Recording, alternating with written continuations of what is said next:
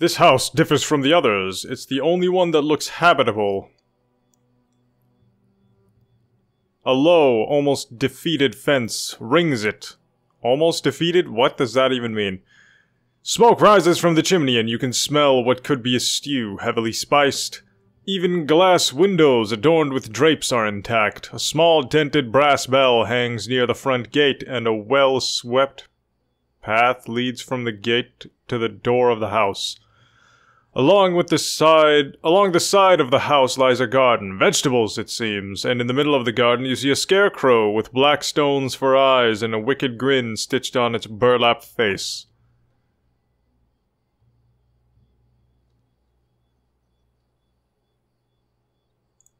Uh-huh. Okay.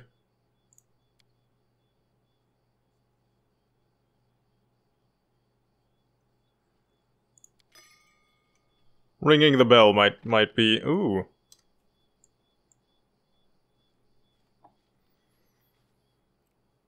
What an everlasting damnation! After a few moments, the door creaks open and an old woman with a tangle of gray hair and greenish skin steps out. Is that actually a witch? The old beldame. So what in damnation are you doing here? The old woman squints at you with disapproval. Her hair is a tangle of gray and her wrinkled skin is an unusual shade of green. Both her eye eyebrows and ears taper to points. I'm looking for a lost child. Have you seen him by chance? A boy? What would I do with a brat? Pickle him in a jar? That's rich, she gives a rattling laugh. Where is it written if an old woman likes a little peace and quiet, she must be a child-stealing witch? How about in The Wizard of Oz? Or no, Hansel and Gretel. That's, that's where it is.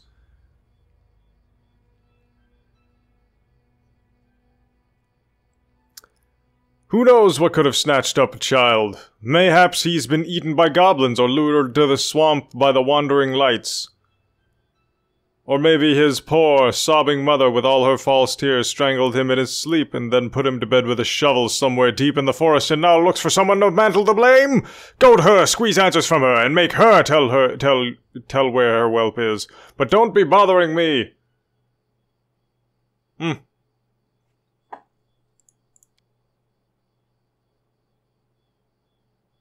Damn it. Failed perception check, huh?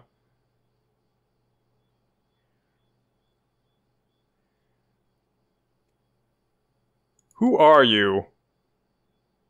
Me, eh? I'm just a harmless old woman, hoping for some peace and quiet. The old beldame, they call me, and that's fine. I've been called worse in my life. What are you- why are you asking? What fool's errand brings you all the way out here? Sure, the herb. Ah, you've got a good eye. The herb is useful, but not by itself. Look here. She shows you three different herbs. This one's mudleaf. This one, that there's gloomberry. And that, that's the dizzy head. One guess what it does. If you find three bundles of each, bring them to me. Sure.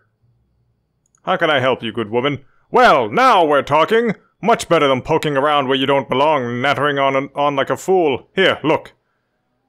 This, this is black rattlecap, the spore pods inside, the best thing for the lungs and the skin. Me, I use them for tea. They're rare, though, but they grow thickest at the mud bowl, east of here. Get me at least ten. Yes, ten, then we'll talk. Sure.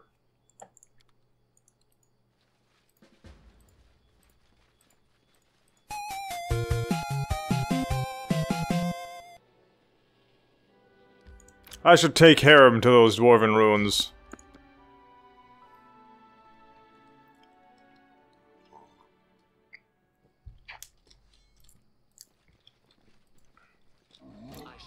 End this suffering. Ah! Stefano... Mosquito. I know that's not his name, but...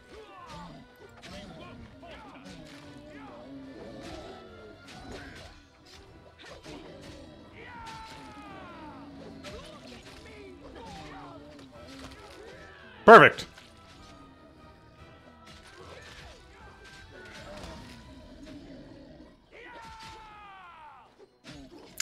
These are way easier than they used to be.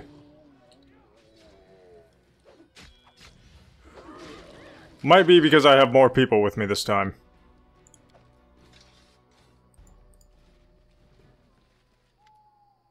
You see Sir Stefano Mosconi from Pitox. He looks reduced from when you first met him. His clothes are torn and bloodstained, his waxed hair and mustache are bent at odd angles. Noticing you, Stefano salutes you with his rapier, and he seems genuinely pleased to see you. We meet again! I confessed I never thought I'd be glad to see you. Sir Stefano? I barely recognize you with all the face powder. Gloat whatever you want, I have earned it.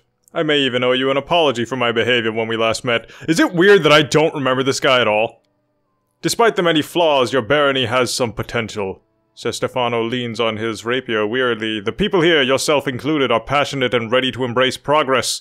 Not all countries are so... open. The people of Galt might as well be a mob. Brevoy is eating itself from within by continual struggles, struggles for power, and Numeria, why, it's hardly a land at all. I'll show you barbarian strength. First I show you the floor! But here I see a beginning. A beginning of something greater. Your people admire you, respect you, and believe in a future with you as their leader. Not all may say the same. I will report this to my king Irovetti. Maybe this barony is actually worth worthy of becoming Pitax's vassal. Yeah, I'd rather kill all of you. Yes, you look surprised. Uh, what did uh, you think I would offer? Do you think us equals? If your barony were even a hint of becoming a rival to Pitax, why His Highness Irovetti, why would why he would need to deal with that threat by vassal treaty or by steel? Ha! Your honesty is welcome. Next time we meet, it could be on the battlefield. I will look forward to that meeting, Your Grace, however it unfolds. It has been an honor. Sure.